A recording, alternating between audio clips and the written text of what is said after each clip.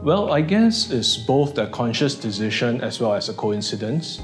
I remember back then, uh, I was working with PwC for a number of years. I was getting quite used to the routine and I wanted to look for a new challenge.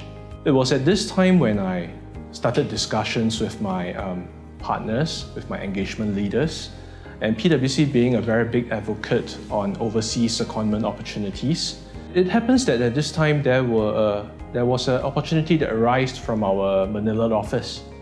And this opportunity was a rare one. Our Manila delivery office is just set up and it doesn't have the expertise it requires to deliver services for asset management clients.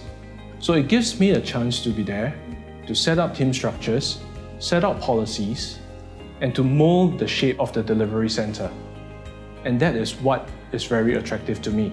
So I would say by coincidence and by a little bit of luck, this opportunity arose and I grabbed it with both hands.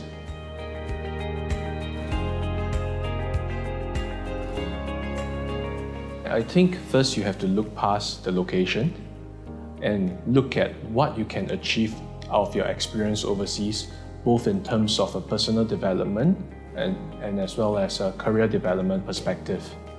Thereafter, I think you should know that your firm or your company definitely has a developed global mobility program that can help ease you in to whatever country that you are looking at. For example, sharing from personal experience, even before I went to Manila, I had multiple discussions with my Singapore Global Mobility Office as well as my Global Mobility Office in Manila.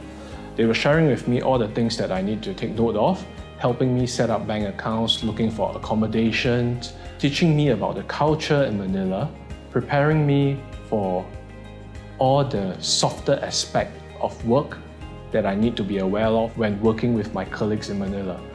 So I think you, for, for aspiring young accountants, and um, to achieve their goal of working overseas, they should take the leap of faith. Rest assured that there will be someone in their company and firm that will be able to support their decision and help them ease into the culture at the host nation.